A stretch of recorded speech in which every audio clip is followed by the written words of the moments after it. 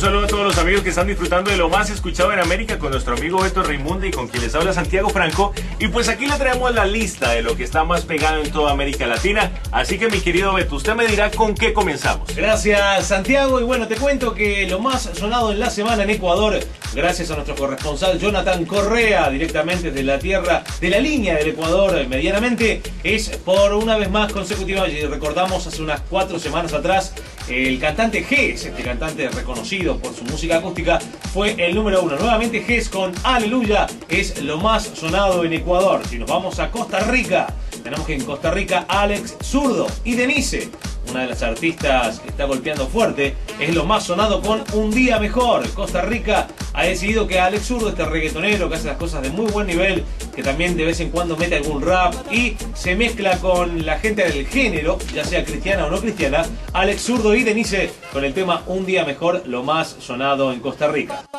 Vamos a Panamá. En Panamá tenemos que Alex Campos, el cantante colombiano, con su reciente lanzamiento Lenguaje de Amor que estaba regalándolo gratis en la página web oficial de alexcampos.com.co de Colombia. Lo estaba regalando gratis a partir del 20 del día 20 de julio. Comenzó a dar gratis el tema Lenguaje de Amor. Es lo más sonado en Panamá en consecuencia de que Alex Campos se está presentando en ese mismo país mencionado en la ciudad, eh, la provincia, perdón, de Chiriquí, una provincia de 400.000 habitantes, donde el genticilio de los chiricanos y chiricanas recibirán hoy a el mencionado Alex Campos. ¿Qué le parece, mi querido Santiago? Pues la verdad que Alex Campos nos tiene acostumbrados a buena música, la verdad que un gran mercadeo le hacen y por eso creo que va a estar en los primeros lugares de las listas con lenguaje de amor. Además, pues eh, música de Denise que no me sorprende que siga en los primeros lugares. La verdad que una chica con muchísimo talento y pues me alegra que le siga yendo también. Pero lo que más me gusta es que conocemos lo que está pasando en América, además sabemos cuáles son los primeros lugares de sintonía, así que si usted quiere conocer lo que está ocurriendo en América Latina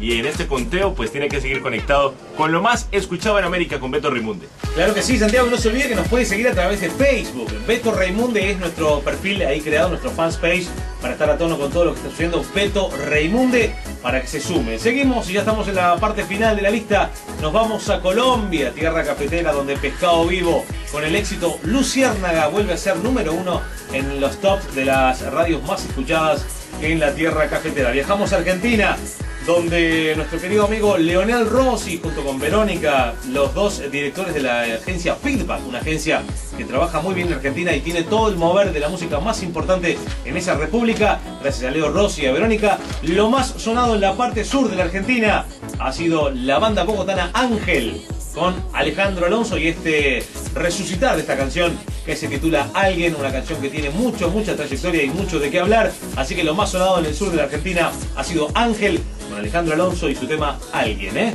Nos vamos a ir ya por final donde Sunen Morales, nuestra corresponsal oficial de Nicaragua, situada en la capital Managua, la amiga Sunen, que Santiago estuvo conversando con ella días pasados en radio, nos dice que en Nicaragua vuelve a ser el número uno el conocido Manny Montes con este tema. Muy buena lírica, muy romántico, es un reggaetón balada del género urbano, es Amor Platónico de la mano de Manny Montes, lo más sonado en Nicaragua. Esto fue todo lo que es lo más sonado en América de la mano de Santiago Franco, quien les habla Beto Reimunde para la nueva 88.3 situada en Miami y para todas las personas que nos miran a través del internet. Gracias por estar y no olviden de dejar, de, de dejar sus comentarios. Quise decir, no me mates, Andy. Despídete, cierra usted, ¿eh?